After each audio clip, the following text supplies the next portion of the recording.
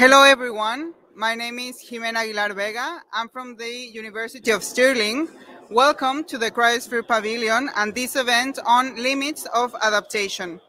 I want to welcome also those of you watching virtually, including at the Cryosphere Pavilion in Stockholm and Geneva, and those watching online.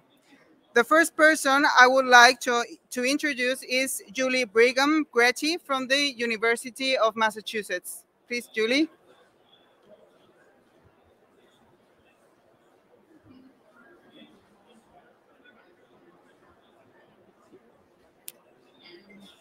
Thank you very much.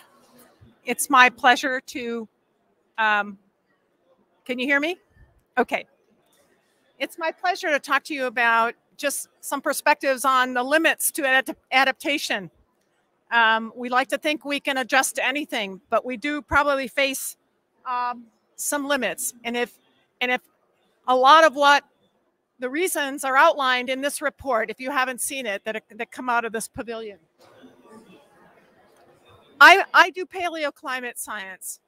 I study shorelines and I'm interested in how uh, the Arctic has changed over time. And so we can look at previous ex natural experiments in Earth history, particularly those previous warm periods caused by reasons not related necessarily to CO2. We can look at how sea level has changed. And we know that from the paleoclimate record that if temperatures reach um, one degree, we're already there, we know that we're on the road to something like the last interglacial when sea level was around six to nine meters above present. So we're already on that trajectory, even under the uh, present scenario. At one and a half degrees, we're starting to head into a world uh, that mimics where we were at about 400,000 years ago in stage 11 with much higher sea levels and sea level only gets higher. So particularly as we get into two to three degrees uh, warmer, we're really approaching uh, a world like the Pliocene three million years ago, when we actually had PCO2 uh, in the re- in above 400 parts per mil. So we're already in a Pliocene atmosphere right now, and so we've got to reverse that, as we all know. And it only gets worse. So the question is not how fast, but how much, how can we change it? So this figure kind of shows that um, that story that I just told you. On the left is where we were in pre-industrial, and on the left-hand axis is the uh, PCO2, and on the bottom are these different interglacial scenarios with sea level. The little pie charts give you an estimate of what we think may have melted um, to, to account for this. And we're still working on, scientific community is still working on trying to narrow this uh, down. But certainly I think the, the important point is that we are um, already at 400 parts per mil, very much like the Pliocene scenario. And as I'll talk about later today, uh, the estimates uh, currently for the Pliocene are anywhere from 12 to 20 meters above present sea level, which could be uh, in uh, several thousand years. It certainly implies uh, rapid sea level changes uh, are underway. So we know that the Greenland ice sheet is losing mass, and you're going to hear this several times today if you stick around. We know that the Greenland ice sheet is melting quite quickly and losing mass, and this beautiful animation shows you um, the areas of Greenland, particularly uh, southern Greenland, but a lot of the west slope that is losing ice mass uh, relatively quickly. And just recently, um, of course, NASA has summarized a lot of the uh, amount of ice that's being lost on an annual basis. And we have projections about what the ice sheet might look like even by 2300, which isn't that really that far away. And we know that west the Antarctic ice sheet, we're going to hear a lot about that today. We heard a lot about it already from the LEADS group this morning about the instabilities with ice shelves and whether or not these ice shelves, if they radically collapse, we could see rapid changes in sea level. And so this has really important policy um, factors, which in this SROCC report coming out in 2019, getting ready for Glasgow is really about this the role of policy in deciding the trajectory we're on. I'm preaching to the choir here about this factor, but we all understand there are serious consequences, which um, a lot of the public just doesn't quite understand. Another factor that's that's impacting um, adaptation uh, is sea level rise and coastal erosion. There are many pavilions here today from countries all over the world that are facing coastal erosion and sea level rise. I'm going to highlight just a few things about particularly the Arctic region where I work. Many of much of the Arctic is of course surrounded by permafrost.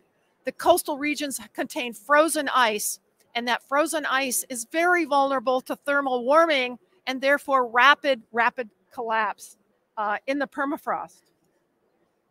Around the Arctic, various science pieces of the science community, various members of the science community have been documenting the rates of retreat. And here, the larger the circle here, the more rapid the retreat in meters per year. And you can see that some areas are in the even up to eight meters per year in erosion.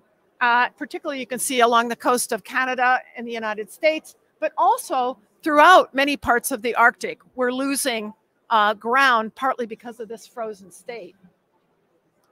This frozen material contains a lot of methane. We haven't heard a lot uh, um, in the last couple days about the permafrost and the, and the methane release. So as these cliffs collapse, we're uh, adding more organic matter uh, into the oceans, but also into the atmosphere as these uh, release.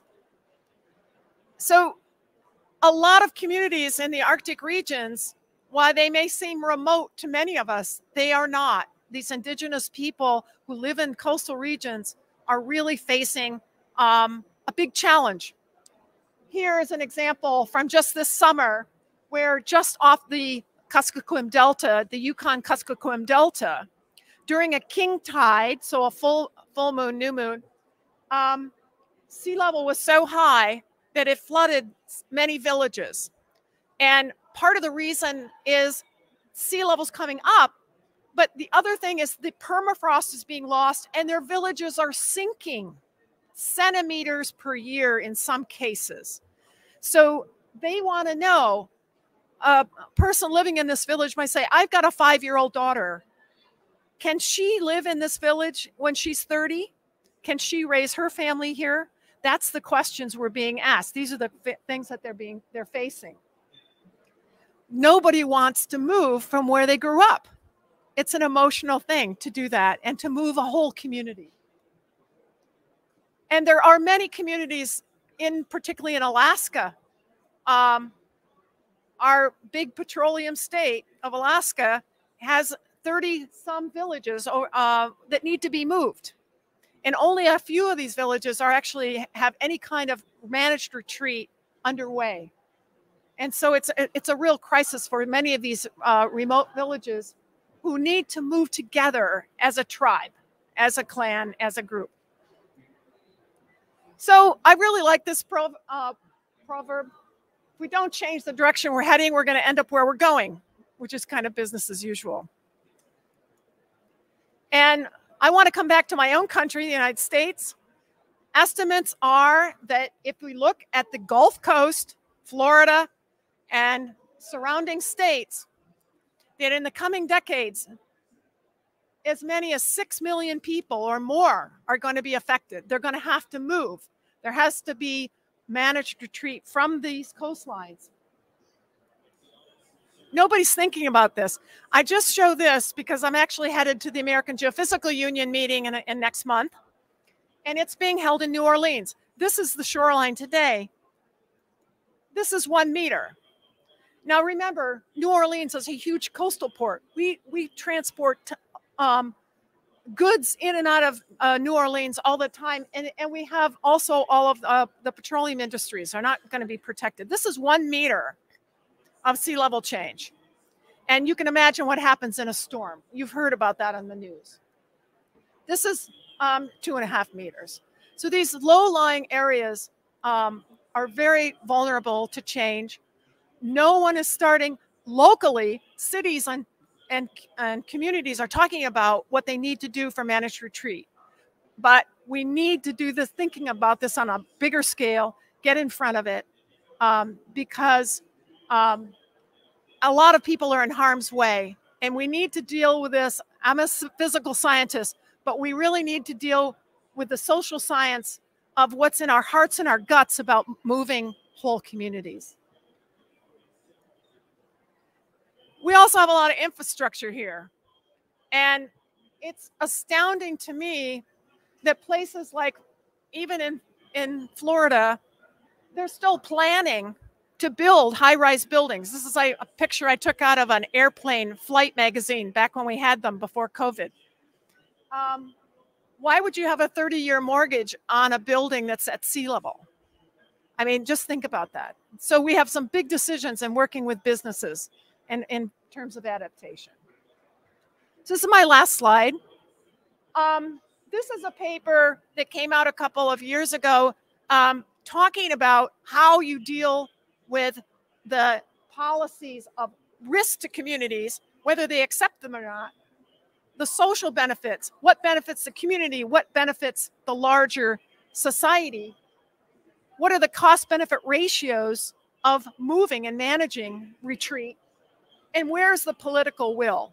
And where we want to be is in that upper right hand corner where there's mutual agreement about benefits to society, benefits to community, and good cost benefit ratio and political will. Unfortunately, in in many places, as this paper outlines, we're in these other boxes where the, the we do not have mutual agreement. So I think this is a real big challenge. Um, uh, and, and we need to work together with social scientists as well as physical scientists to meet that need. Thank you very much, and I'll turn it on to the next speaker.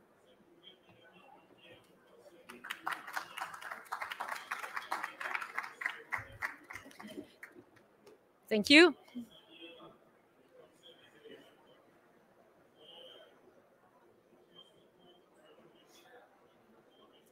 So I will give you a perspective here from the world of glaciers and focus on disappearing glaciers in the world.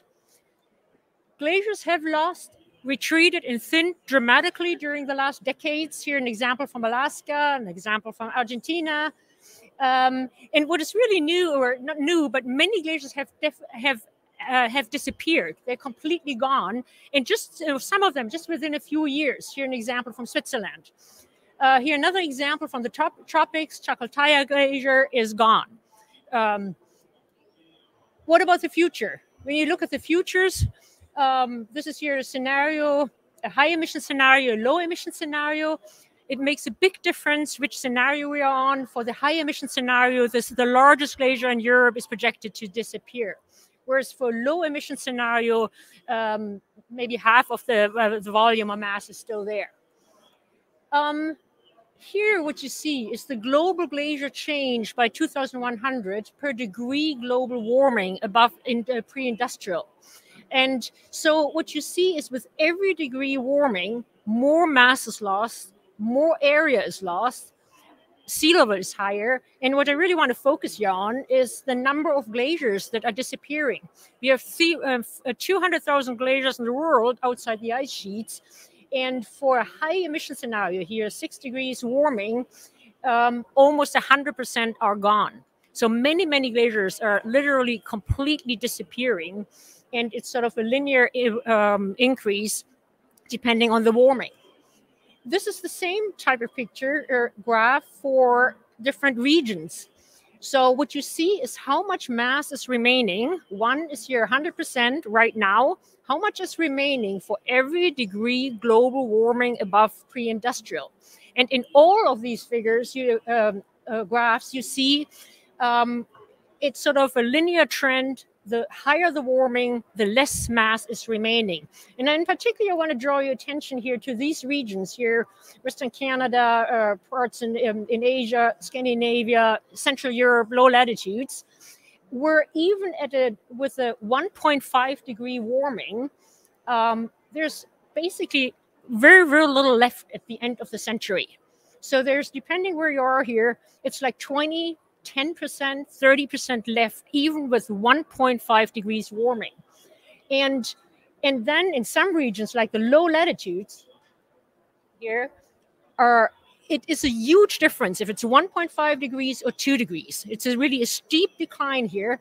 And when you go to three, four, five, six degrees, it doesn't matter anymore. There's no not very sensitive, and that is because they're gone. So what you see here is again glacier mass that really remain, but now at a uh, more uh, more local perspective. Here for every grid cell in the world for the different regions. Blue means a lot of ice is left over by the end of the century. Red, the redder it is, the less is left over. And I want to draw your attention to the black circles. That is glaciers, regions, or uh, subregions that are completely uh, ice free by the end of the century here for 1.5 degrees. So even for 1.5 degrees, you see here many subregions in these regions are completely ice free. And the higher the temperature, more regions uh, join that club here with having subregions that are completely ice free four degrees, five degrees. And so a lot of ice is still left over in the polar regions, but where people live, where there's livelihoods, that's the regions where uh, many, many glaciers are literally disappearing and very, very uh, little ice left between like maybe 10, 20% of ice is left in these regions.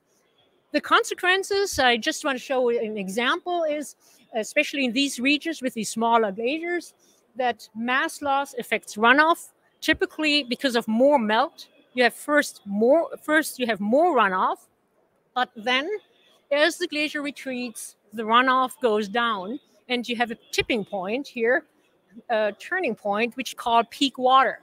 And it's of course for water resources management, it's in order for agriculture, for hydropower, it's very important.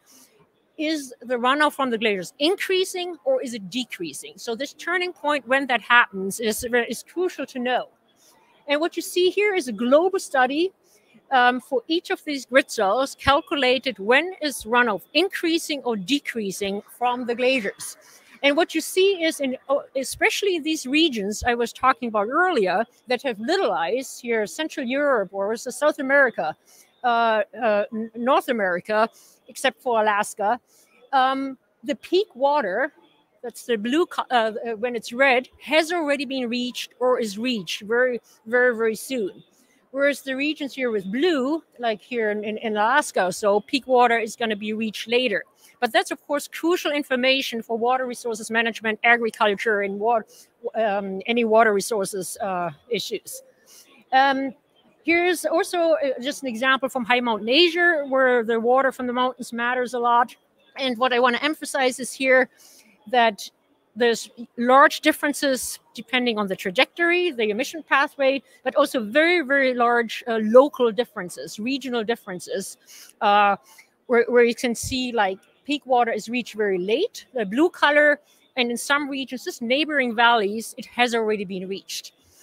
Um, not only the total amount is important, but what is also important is the seasonal variation. How the, is the seasonal runoff changing? That's, of course, very important for agriculture.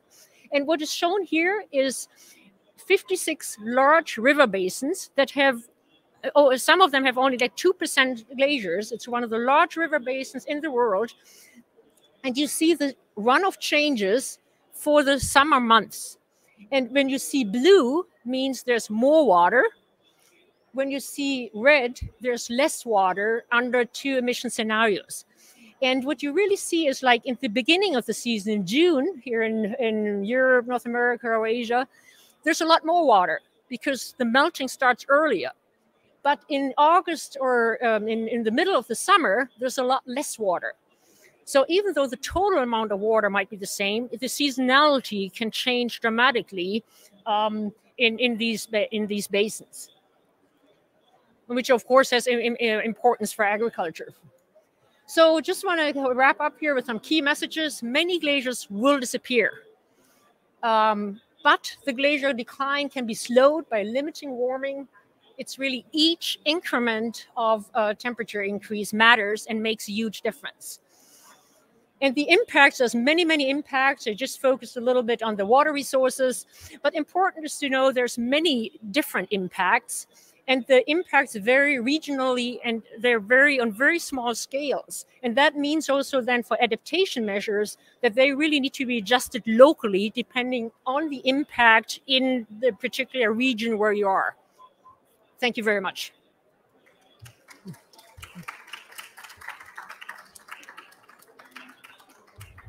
Thank you so much, Regine. Our next speaker is Georg Kaser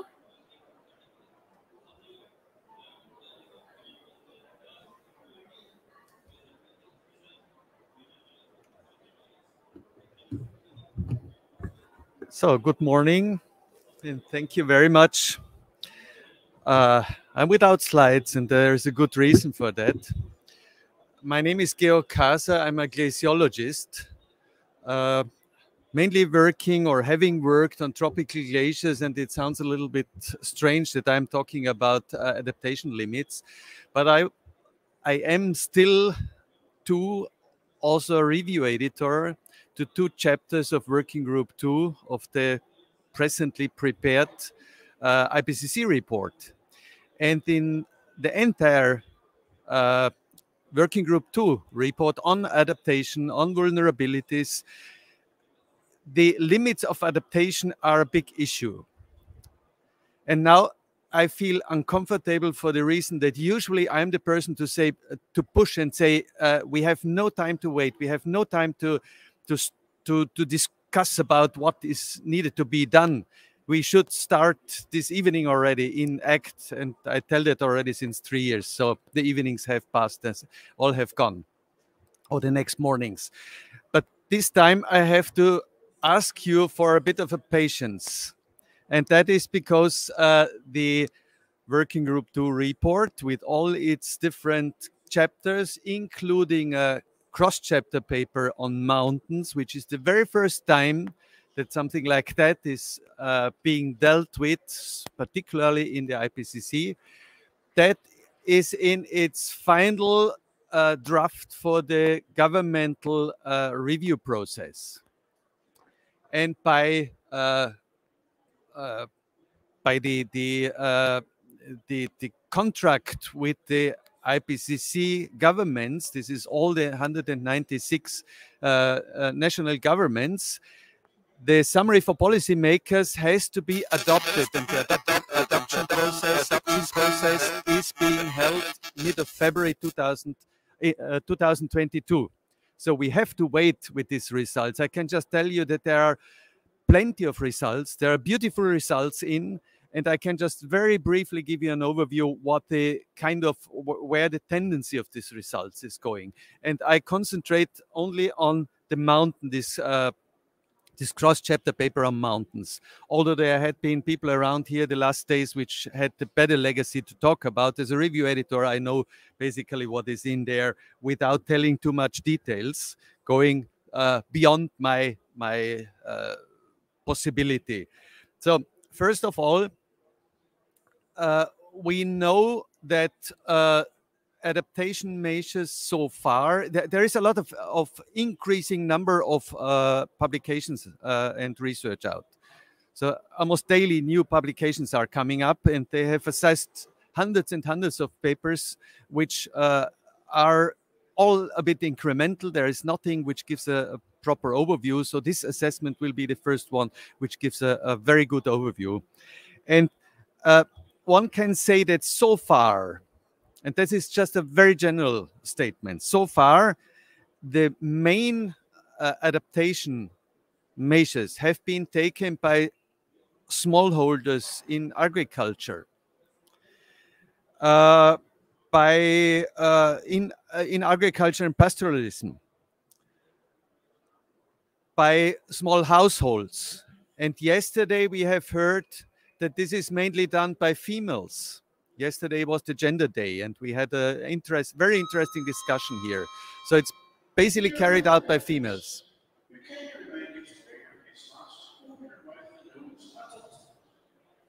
Can i continue? You will hear but i can't hear anything. Okay so I, uh, there is very little on the level of uh, private sectors and on the level of uh, or the the this, uh, the sectors of sanitation health so those that could really do something on a bigger scale there is little to be seen on the other side it is these long-term perspectives like healthcare like sanitation where these local small uh, stakeholders, they cannot do very much. And it is basically, as I said, the females, because the male have all left for in many areas of the of the world, not everywhere, but in many areas they have left for work conditions, for work uh, uh, economic reasons, and so they they are looking for money while the the females are taking care of the small fields and the and the animals. You you know all that. I'm not telling you anything new. Uh, the point is that that mountains are extremely complex in all ways. And if you just look at the atmospheric physics or physicists, they don't talk about mountains anymore. They talk about complex terrain. They do meteorology on complex terrain, which is uh, just just showing how complex the entire thing is, and that has impacts on how people have uh, have uh, adapted to some areas, how they are taking adaptation, measure, adaptation measurements, how the risks are increasing, and at, that also created or is overlaid by a complexity of uh, global scale diversity of economic situations, governance situations. And, and there are two, uh,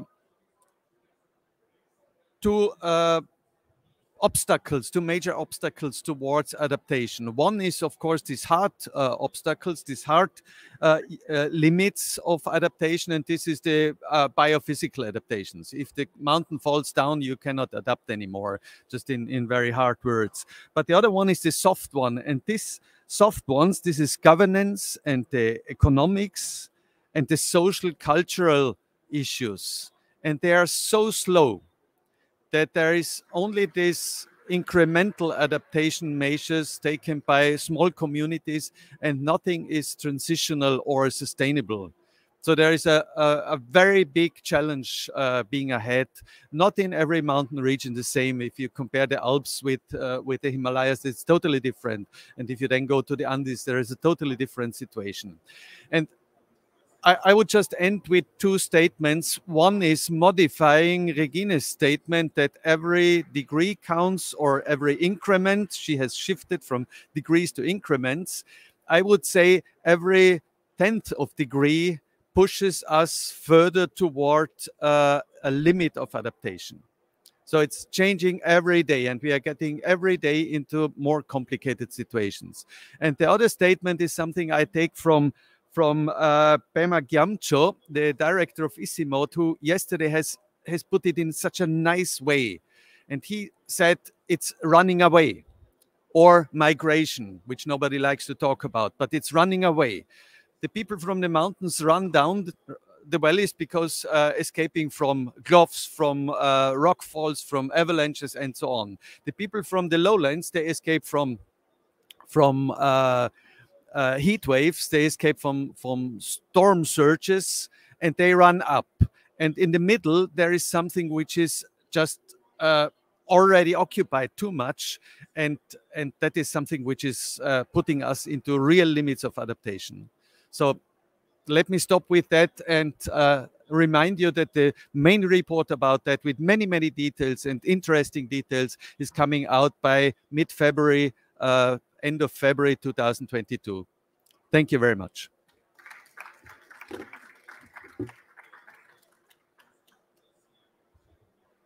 Thank you so much, Georg, for this holistic overview.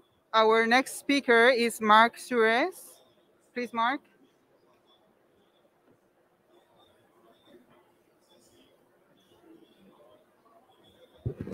Uh, hello, everyone. Uh, appreciate your being here.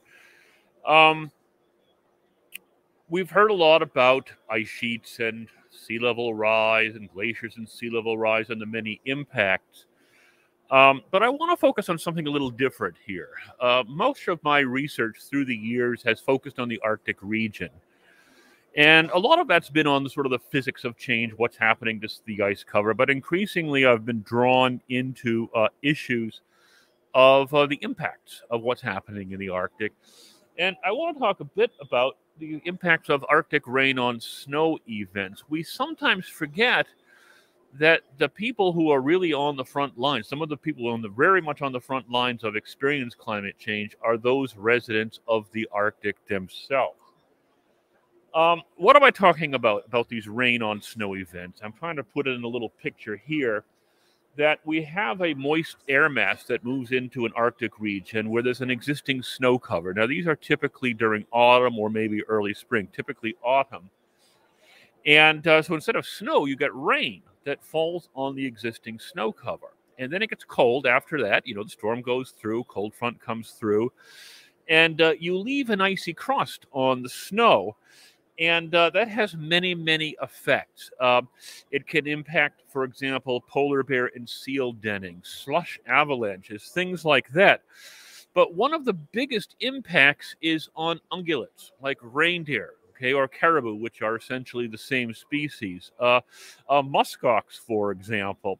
And there have been a number of recorded events of, for example, 30, 40, 50,000 uh, reindeer uh, dying uh, over fairly quickly or extended period over a year because of these rain on snow events. And the reason for this is this icy crust, which can prevent foraging. And so the impacts of this can be quick over a matter of weeks if they can't forage, or they can actually extend over a number of years through various generations. Uh, for example, a lot of calf mortality and things like that. Here's just an example of a, of a situation where there are actually two rain on snow events, each of them leaving an icy crust. Uh, so here you see some uh, reindeer right here. Reindeer and caribou are essentially the same species. Uh, reindeer, of course, are semi-domesticated, and they have some morphological differences because of that, but they're essentially the same species. So, you know, here's what I'm talking about is, is mortality. It can be massive sometimes, uh, 30, 40, 50,000 at a time. Uh, so, other species, for example, there was an event on Banks Island uh, some time ago where something like 20,000 muskox uh, uh, were uh, starved because of such an event. And uh, where the uh, the real concern is is the people of the north who depend on the reindeer, reindeer herders like the Nenets reindeer herders, right? who their entire culture is built around or focused around reindeer. They use reindeer for food, they use reindeer for transportation, reindeer is used for clothing. It's fully embedded within their society. And these rain on snow events, which appear to be coming now more common, uh, is having very, very strong impacts. There's certain things you can do. For example, one can bring in supplemental feeding, things like that, but that costs a lot. Uh, you can move reindeer to better pastures, but that can take a long time. It can put stress on the reindeer. So there are a number of strategies that can be followed, but there's only so much that can be done. Uh, of course, uh, this is just another example. This is just showing a, uh, you know, part of a winter camp here. From these are from uh, the Nenets communities uh, up north. We're a part of a large project through National Science Foundation trying to study this sort of thing. So I'm showing a, a bit from from that study. Uh, now, you know, how common are these things? Um, this is actually a challenge. We think they're becoming more common, uh, but how common are they now? There's ways that you can use remote sensing to get at that, uh, using uh, passive microwave remote sensing, active remote sensing, uh, a number of different ways. Uh, this was uh, from our colleague Annett Bartsch, uh, who was just doing an analysis over about a 10 year period, trying to look at how frequent these are. And the oranges is where they're more frequent, blues is where they're less frequent. But it's actually a tough nut to crack uh, because some of these events are well reported because of their impacts. Others are not because you can't really, unless you could, you know, automatically sort of identify these sorts of things. Uh, and so part of the project we've got, for example, is that we are working with reindeer herders and others to try and better understand these features and their frequency. Um, we uh, another way to look at these sorts of things is through actual observer networks. Uh, this is from what they call the Leo network, uh, and this is operated out of uh, out of Alaska. Uh, but these are things like reports from media and things like this. Here you see one here. 300 reindeer found dead uh, in Kamchatka. That was actually a very small event in terms of reindeer mortality. What are these things associated with? Well, we're uh, in terms of the meteorology of these things, we know that they're associated with what we call blocking events in the atmosphere. These are situations where the atmosphere gets in a certain configuration and things don't want to move around much or shift around much. Uh, something like this, anyone here's a meteorology, and here's what you call on the top left a classic omega block. And these are often associated with these sorts of events. But what's very important, apparently, for a lot of these events is what we call atmospheric rivers. Uh, these are narrow bands of very high concentrations of water vapor. You see it in the green there, that sinuous feature going all the way to Svalbard. There's been a number of events on Svalbard, one in particular in 2012, which was the largest precipitation event ever. Uh, caused a large mortality of, of tagged reindeer, slush avalanches, causing buildings uh, uh, to be damaged. It actually warm, warmed permafrost down to several meters because of the latent heat release uh, when the uh, when that rain uh, froze. So it's this is the growing impact. So we talk a lot about glaciers, things like that, ice sheets, but we have to remember that so many of the people on the front line are those residents in the Arctic who are seeing these effects very much right now, and they're getting worse. Thank you.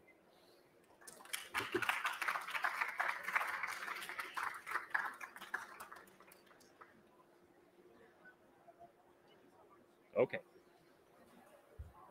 Thank you so much, Mark. Our last speaker on this event is Lexi Hoskins from uh, the Arctic Angels.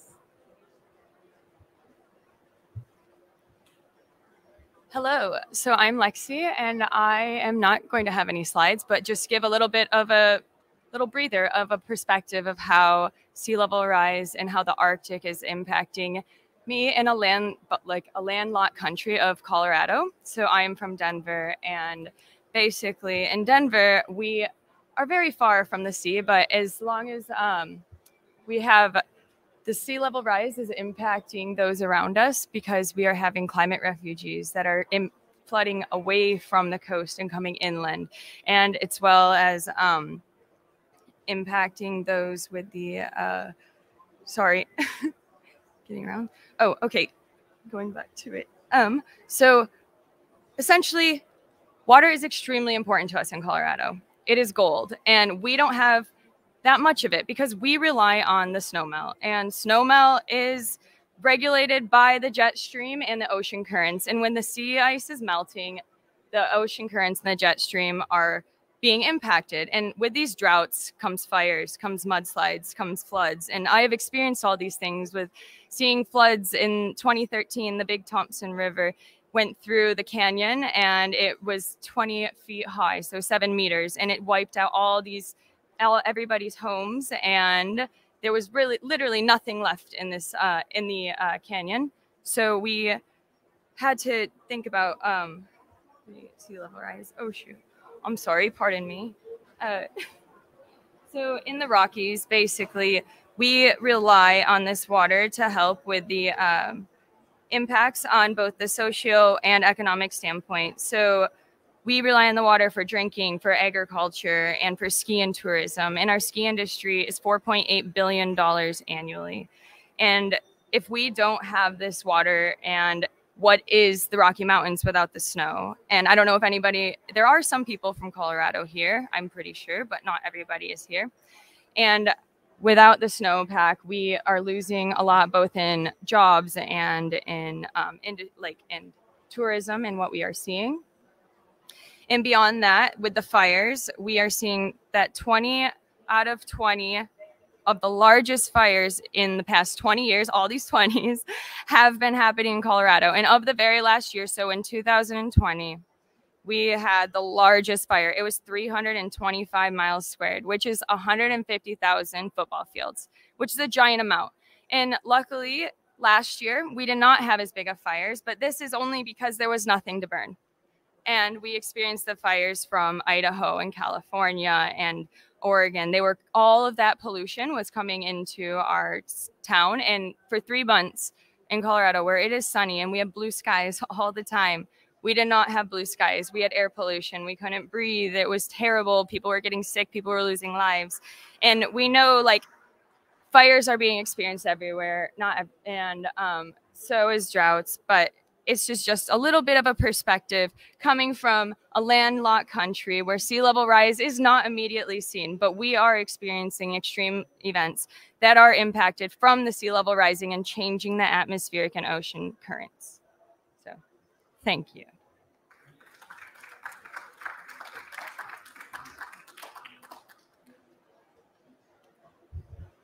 So thank you so much to all of our speakers. I don't know if someone uh, would like to ask or have some questions online as well. Okay, so I don't know. Any questions here? No? Okay, great. So thank you so much. Please uh, join us at 1 p.m. We will have great presentations on Antarctica and Paris goals, risks of massive sea level rise. Thank you so much for joining us today.